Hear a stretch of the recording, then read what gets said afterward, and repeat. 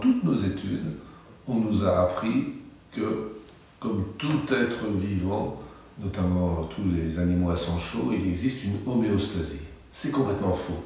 En fait, il existe une chronostasie parce que notre milieu intérieur n'est pas stable, mais varie en fonction du temps.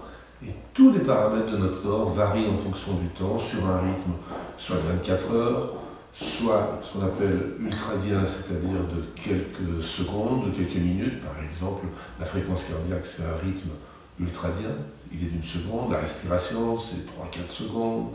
Le sommeil paradoxal ou rêve, bah, c'est 90 minutes.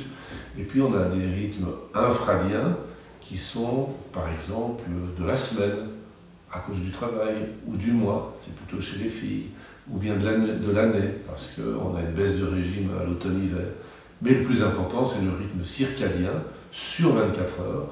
Nos paramètres, la température mène le jeu, parce qu'on a un thermostat dans le cerveau, et les hormones, la fréquence cardiaque, la tension artérielle, les neurotransmetteurs, bref, tout, tout, tout change en permanence sur cette cadence de 24 heures. Et beaucoup de maladies sont dues à des dysfonctionnements de ces rythmes, et de ce fait, les traitements ne marchent pas de la même manière en fonction de l'heure.